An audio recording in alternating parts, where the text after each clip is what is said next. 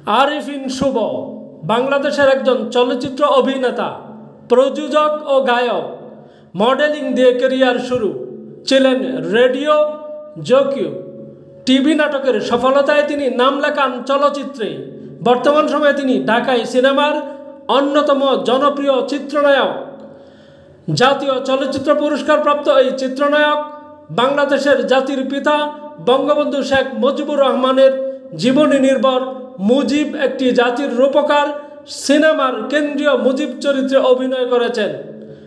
এটাই ঢাকার সিনেমার ইতিহাসের সবচেয়ে বড় বাজেটের সিনেমা। পর্দায় নিজের চরিত্র নিয়ে খুবই সচেতন আরিফিন শুভর অ্যাকশনধর্মী চলচ্চিত্রে ব্যাপক চাহিদা রয়েছে। তার উল্লেখযোগ্য চরিত্রগুলো তার কাটা, ছুঁয়ে দিলে মন, মুসাফির, ঢাকা অ্যাটাক, আহারে, সাপ লুডু মিশন এক্সট্রিম এর মতো চলচ্চিত্র। আরিফিন শুভ উনিশশো বিরাশি সালের দুই ফেব্রুয়ারি বাংলাদেশের ময়মনসিংহ বিভাগীয় জেলার ভালুকা উপজেলার আট নং ডাকাতিয়া ইউনিয়নের পাঁচ নং ওয়ার্ড আঙ্গারগারা গ্রামে এক রক্ষণশীল মুসলিম পরিবারে জন্মগ্রহণ করেন।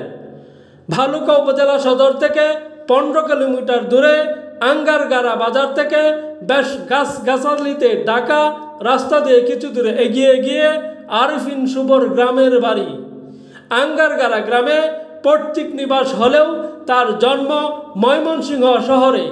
ময়মনসিংহ জেলা স্কুলে পড়াশোনা এবং বেড়ে ওঠাও ময়মনসিংহ শহরেই বাবা এস এম শামসুল হক ছিলেন সরকারি কর্মকর্তা, মা গৃহিণী।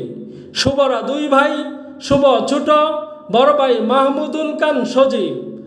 আরিফিন শুভ দু হাজার পাঁচ সালে মডেলিং শুরু করেন দু সালে প্রথম মোস্তফা সরোয়ার ফারুকির হানা নাটকে অভিনয় করেন দু সালে ইজ ইকুয়াল টু ধারাবাহিক নাটকে অভিনয় করে তার অবস্থান শক্ত করেন দু সালে খিজির হায়াত খান পরিচালিত জাগো চলচ্চিত্রের মাধ্যমে তার বড় পর্দায় অভিষেক হয়। আরিফিন শুভ দু সালে অর্পিতা সমদ্দারকে বিয়ে করেন। অর্পিতা সমদ্দার পেশা একজন ফ্যাশন ডিজাইনার।